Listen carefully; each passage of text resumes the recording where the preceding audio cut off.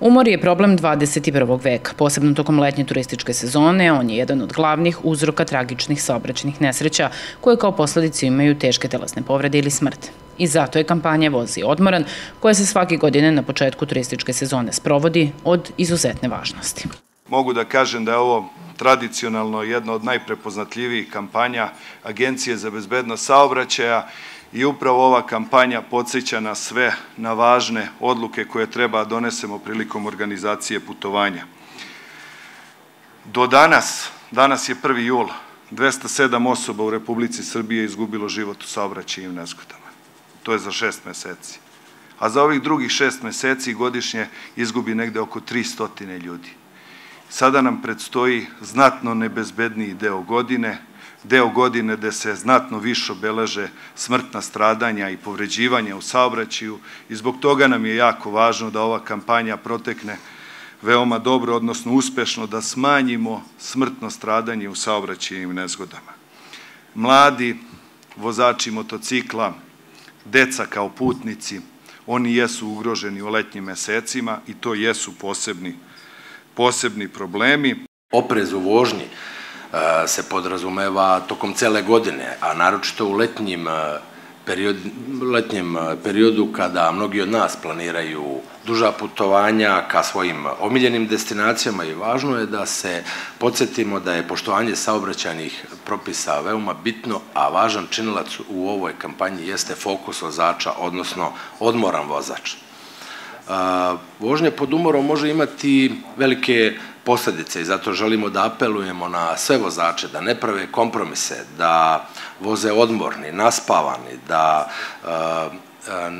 uopšte u bilo kakvim ovaj uslovima vožnje ne prave velike temperaturne razlike ovaj korišćenjem klima uređaja što su sve važni činioci u tome da se a, izazove neka saobraćajna nezgoda sa neželjenim ishodima, jer nam je u suštini svaki i prioritet, svaki ljudski život nam je važan.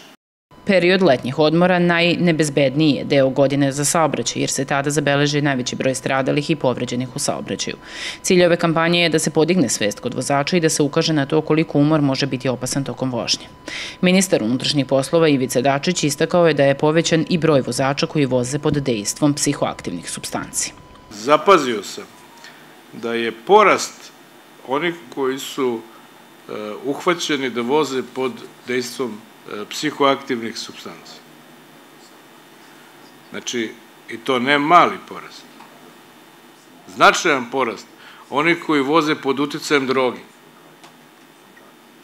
Tako da, e, to je verovatno, možda ranije se nije obraćala pažnja toliko na taj deo, ali to je nešto što zaista moramo da budemo. To je sad povezano sve ukupno sa našom borbom protiv narkotika i kao što vidite i nalazimo se i u danima kada smo suočeni sa terorističkim aktima i to je samo pokazatelj čime se sve, e, čime, sa čim smo sve kao društvo suočeni i mi kao ministarstvo unutrašnjih poslova kojim se sve oblastima bavimo, ali zato to je život. To je u stvari pokazatelj sa čim se sve u životu mi suočavamo i mi moramo da nastavimo dalje. Promet je veoma veliki, sada počinju i odmori, i to ima, znate, mi dnevno imamo po više od 100.000, 150.000 ljudi promet preko e, granice e, i to sve mora da se mora da se e, kontroliše. Javno preduzeće Putevi Srbije imajući u vidu važnost ove akcije u sklopu svojih nadležnosti upravljanja državnom putnom mrežom pokrenuće kao podršku u okviru ove akcije da svi izmeljivi sva izmeljiva signalizacija ili VMS portali, a ima ih preko stotinu na autoputevima Srbije, da e, obaveštavaju vozače o kampanji, da e, slogan i poruke ove kampanje vozi odmoran, napravi pauzu na svaka dva sata, bude prisutno na autoputevima Srbije kako bi učesnici u saobraćaju to mogli da vide. U letnjim mesecima svakoga dana se dogodi do 100 saobraćenih nezgoda, a u proseku leti smrtno strada oko 40 lica.